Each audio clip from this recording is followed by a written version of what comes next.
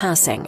Following the Kingston family's announcement, Buckingham Palace also shared a statement regarding the tragic news. The statement said, The King and the Queen have been informed of Thomas's death and join Prince and Princess Michael of Kent and all those who knew him in grieving a much loved member of the family. The statement added that Charles and Queen Camilla were keeping the Kingston family in their prayers as they went through this tough time.